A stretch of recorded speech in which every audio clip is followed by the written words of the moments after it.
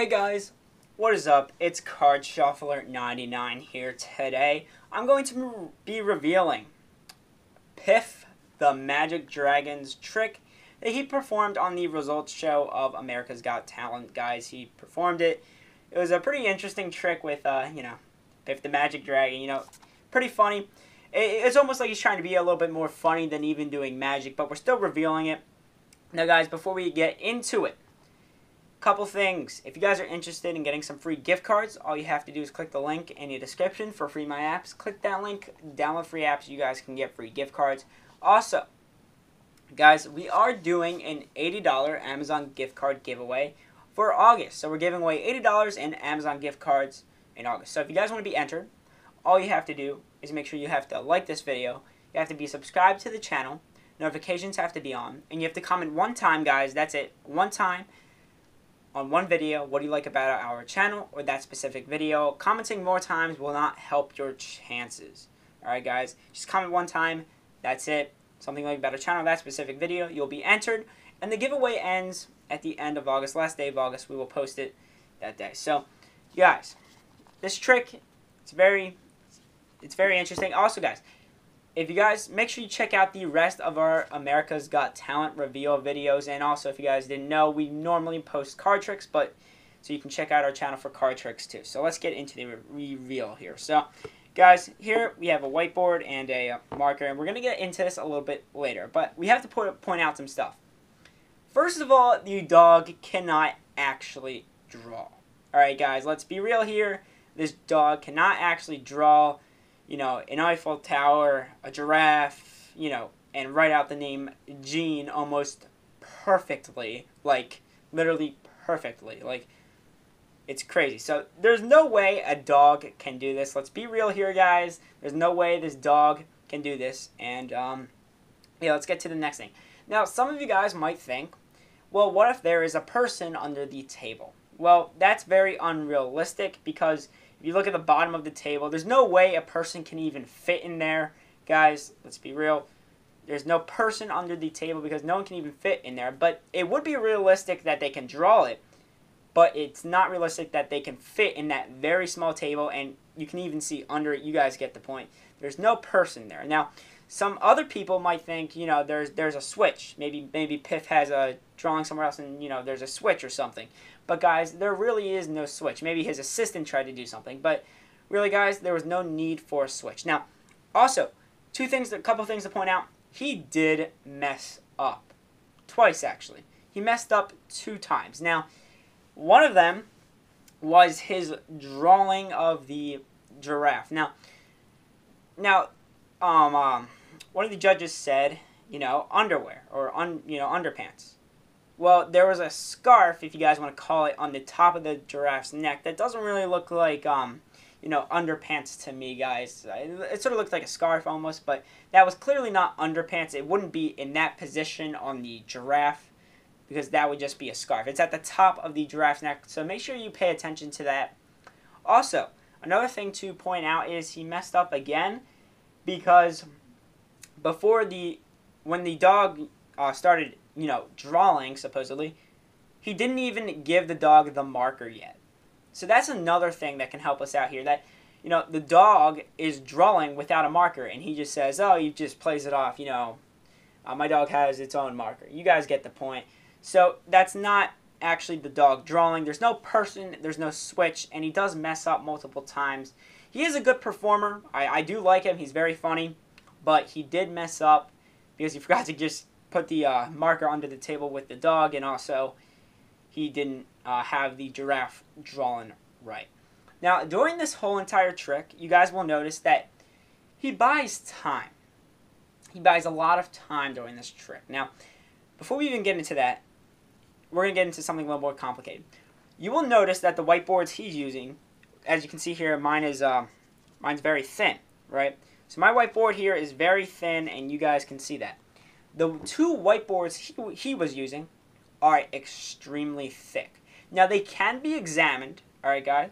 They can easily be examined, all right, so that, you know, the judges can look at them, or, well, you know, they didn't really look at them that much, but you can see that it's very thick. And why this is, it's actually an electronic device almost. So it's an electronic device. Now, how this works, you guys can actually look it up and you guys can find it on Google, is it's an electronic writing um, whiteboard. So, guys, this can be a whiteboard. This is a whiteboard that's electronic. And how this is going to work is, I'm going to go ahead and draw something here. So, here, there would be a person backstage. So we're going to split this whiteboard into two halves. I know it's a little bit hard to see here, guys. But you guys see, we're splitting this whiteboard into two halves. Now, this half is going to be the whiteboard that everyone on stage is seeing.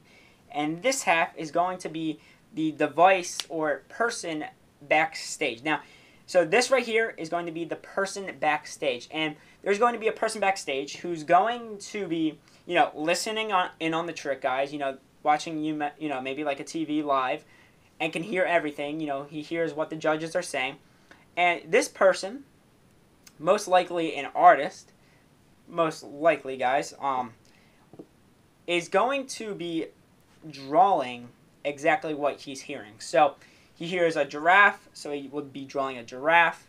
He, so he, he hears uh, Eiffel, you know, Paris. What's the first thing that comes to mind? Eiffel Tower. You guys get the point. So this person is backstage drawing whatever, you know, whatever he hears. Now, you guys will notice that the drawings are in very, like, pretty good detail. Like, they're in detail, guys. They're, it's no joke. They're in very good detail. So, it would have to be an artist who can draw pretty, you know, pretty quickly, guys. So, this artist can draw pretty quickly, you know, gets the job done fast. And that's why he's, uh, Piff Magic Dragon is actually buying time. So let's continue on here. So this is the person backstage, guys, and this is the electronic whiteboard that everyone else is seeing. So backstage, let's just say, I'm just going to make this easy, guys. I'm not a very good drawer. So basically the person backstage, let's just say, you know, the sun, right? Someone said, one of the judges said the sun or something. Let's just say that. You know, draw the circle, right?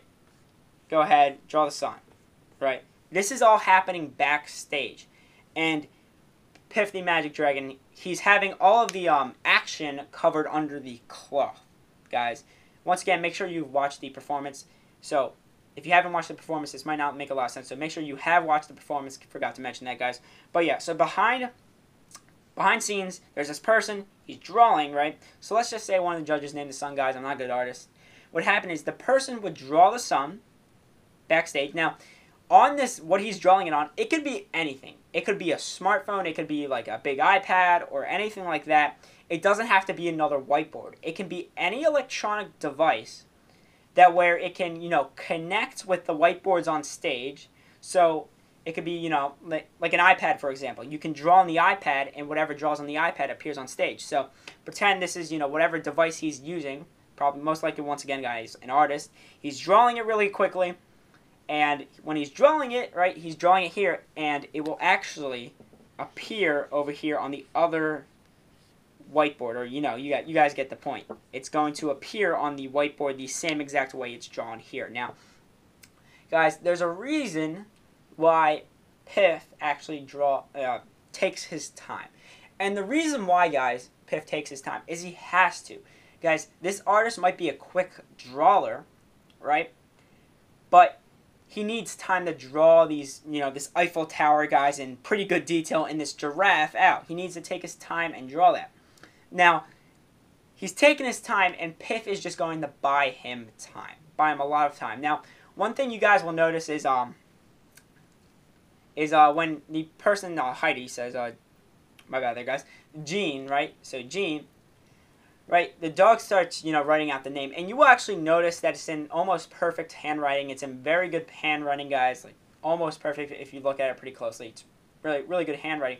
It actually puts, you know, G E N E, right, and then, you know, he asks how's it spelled, and right, and it changes. So basically, this artist backstage is just drawing or writing whatever he needs to draw the whole time, and basically Piff the Magic Dra Dragon is just buying time for him to draw it all out. Alright? And the noises, once again, guys, it's just to, you know, make it seem like there's an actual marker there. So, you know, you guys hear that noise all the time. Sometimes when you're writing, you know, you hear the noise, you hear the squeaky. I'm not going to make it, guys. But you hear the squeaking noise, but really it's just like a, um, it's just like an audio. You know, it's not actually the actual squeaking noise. It's just some